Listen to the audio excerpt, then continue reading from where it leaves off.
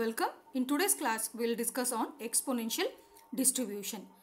A continuous random variable x which has the PDF f of x is equal to lambda e power minus lambda x when x is greater than or equal to 0 and it is 0 when x is less than 0. Here the PDF stands for probability density function and you can observe the exponential distribution for continuous random variable is considered here hence we have to write PDF equation otherwise for discrete it will be PMF since uh, exponential distribution is a continuous distribution or a continuous random variable for which the PDF is given by this equation then we call that distribution as exponential distribution where your lambda represents the rate constant and which is greater than 0. The CDF for the exponential distribution is given by capital letter f of x is equal to 1 minus e power minus lambda x when x is greater than or equal to 0. It is 0 when x is less than 0. The CDF is continuous and non-decreasing from 0 on to the left to 1 on the right. It is 0 on the left. It is continuous and non-decreasing from 0 on the left to 1 on the right. So this we'll understand it by seeing the graph. The figure here, the figure A shows the probability density function of exponential distribution with positive rate constant. Whereas figure B shows the cumulative distribu distribution function of exponential distribution for positive rate constant. From this figure you can, you can observe that the equation that we wrote for exponential distribution uh, PDF lambda times e power minus lambda x. Go on substituting the values of x in this equation. Suppose if we substitute x is equal to 0, we'll get e power minus 0 into that is e power minus 0 will be 1 and you'll get lambda into 1 as equal to lambda. So your magnitude for maximum magnitude is at x is equal to 0 go on substituting the values different values of x you'll get this exponential graph. I'll repeat. The pdf the graph is obtained. First substitute x is equal to 0 in the equation of the pdf here. Your if you have x is equal to 0 you'll get here lambda into e power minus lambda into 0 e power minus 0 is equal to 1 hence your answer will be lambda into 1 which is equal to lambda. Hence you are getting the magnitude as lambda and it decreases exponentially. Okay. And coming to the uh, next graph that is CDF. Here if you observe as x increases your graph is non-decreasing. Okay. Continuous and non-decreasing. And it is from where from where from 0 on the left to 1 on the right.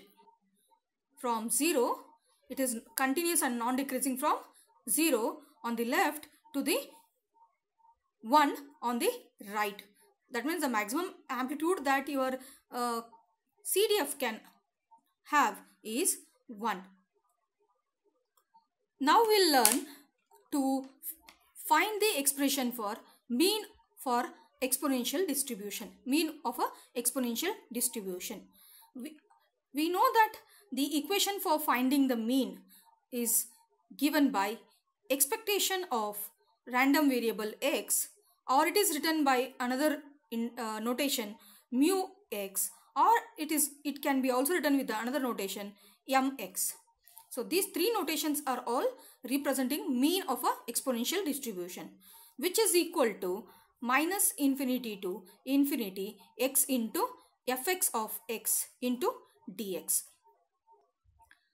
Now here substitute the uh, f of x equation and we know that f of x is equal to your given we know that for exponential distribution f of x is lambda e power minus lambda x it is 0 when x is greater than or equal to 0 when x is less than or equal to 0.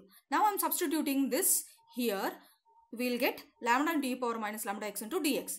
And the range for the term lambda e power minus lambda x is x greater than or equal to 0. Hence I am considering the limiting range from 0 to infinity. the limiting ranges are from 0 to infinity. Okay? Now we, I have taken the lambda common here. Integrating by parts the above equation I'm going to integrate it by using the formula integrate integrating by parts. So let me give you what is that. Integration of a into b into dx is equal to a into integration of b in with respect to dx minus write the integration symbol. And what are the answer you get here? Integration of b into derivative of a into dx. So this is a formula. First you need to write a as it is then take the integration of b with respect to x and subtract again integrate. The answer that you got the integration of b should be written here and derivative of a should be multiplied with it with res and then integrate with respect to x. You will, this is the integrating by parts. Okay. Now here the first term is x as it is written into integration of the second term. E power minus lambda x divided by minus lambda x. Minus again integration from 0 to infinity. The answer that you obtained here this should be written here into derivation derivative of x derivative of x is 1 again integrate this here. So here i have integrated and substituted the integration limit upper limit substitute x is equal to infinity and then x is equal to 0 in the above equation you will get this term that is x is equal to infinity into e power minus lambda infinity minus 0 into e power minus lambda into 0 divided by minus lambda. Then again I am integrating this term by taking the common 1 by lambda here a constant term that is 1 uh, minus into minus plus 1 by lambda integration from 0 to infinity e power minus lambda x into dx. Now again here e power minus lambda e power minus uh, lambda will be 0. So you are getting 0 here. e power minus 0 is 0 into something is 0. So you will get here the term and 1 by lambda I am integrating this term e power minus lambda x divided by minus lambda okay with a limiting range 0 to infinity. Substitute the upper limit minus the lower limit. You will get e power minus infinity minus the lower limit e power minus 0 divided by lambda. We know that e power minus infinity is 0, e power minus 0 is 1. Substitute e power minus infinity as 0, e power minus 1 as 1. You will get the answer as here minus 1 divided by minus uh, lambda. So it will be 1 by lambda. Then just cancel the common terms. So lambda and lambda will get cancel. You will get the expectation of the random variable x which is equal to 1 by lambda it is the mean of exponential random variable represented by mu x or it is also represented by mx or it is also called as momentum of first order about the origin. It is the momentum, first order momentum or momentum of first order about the origin, the mean. It, it can be also written as mean. Mean is also known as average. It is also known as momentum of first order about the origin. The variance of exponential distribution is given by formula variance of x is equal to expectation of x square minus expectation of x whole square. So therefore we need to find first expectation of x square.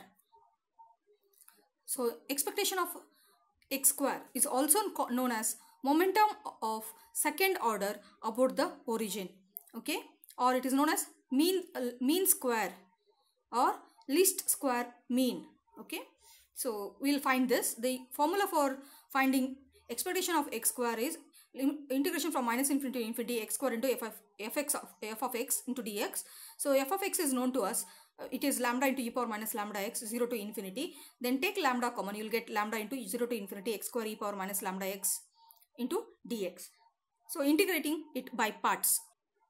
First write the term x square then integrate the second term that is you'll get answer e power minus lambda x divided by minus lambda and the limiting ranges are from 0 to infinity. Okay then minus integration from 0 to infinity. The answer that you have written here e power minus lambda x divided by minus lambda into rewrite the same term here into derivat derivation of second the first term that you wrote x square. Derivative of x square is 2x into dx. Okay again in the next step what i'm doing here i am just substituting the values of uh, here the term x minus uh, first infinity and then 0 you'll get e power minus infinity which is 0 so it is 0 e power and again x if you substitute here 0 you'll get 0 so 0 minus 0 divided by minus lambda. The first term answer will be always 0 so here minus into minus plus. So i'm taking lambda common here e power minus lambda x and also i'll take 2 common. So i'll get here into x is into dx so i'm finding here i'm applying the integration by parts x square e power minus lambda x minus lambda in, limits from 0 to infinity minus integration from 0 to infinity e power minus lambda x divided by minus lambda as it is. I'm repeating once again. So derivative of x square is 2x into dx. So now in the next step I'm applying the limit here. If you apply the limit here e power minus infinity will be 0 minus the lower limit if you apply here you get 0 into something. So your answer for the first term is 0. And the next term is here minus into minus s plus and 2 I'm taking common. So 2 by lambda is the constant term which I have took it outside. So integration from 0 to infinity x into e power minus lambda x into dx. So now again we need to apply the integration by parts for this term here. So x as it is e power minus lambda x divided by minus lambda the integration of the second term minus again integrating 0 to infinity rewrite the term here derivative of x is 1 into dx. So now the answer for this is also equal to 0. So 0. Then here I'm taking 2 by lambda as here 2 as common. You'll get here minus 2 minus as 1 by lambda. Again 0 to infinity e power minus lambda x into dx. What is integration of e power minus lambda x is e power minus lambda x by minus lambda limits from 0 to infinity. So here you can take this 2 by lambda uh, I have written here com in common then you'll substitute the upper limit e power minus infinity minus of e power 0 you'll get it as minus 1 this is 0 and here you will get minus 1 minus 1 by minus lambda. It will be 1 by lambda. Your answer is 2 lambda square. We got the answer for expectation.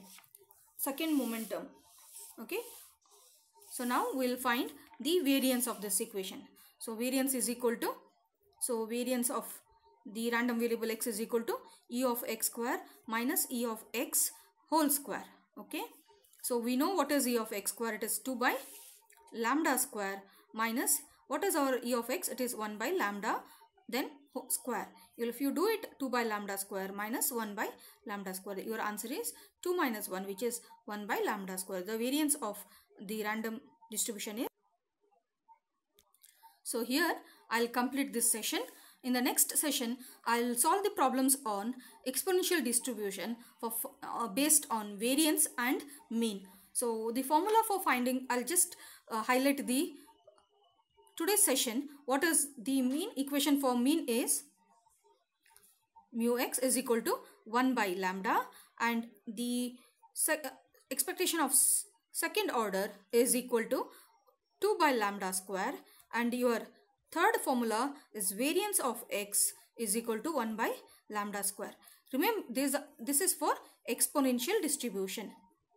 Exponential distribution. So this using these three set of formulas we will solve problem in the next session. So thank you. We'll continue in the next lecture session where we'll solve problems based on exponential distribution. Thank you.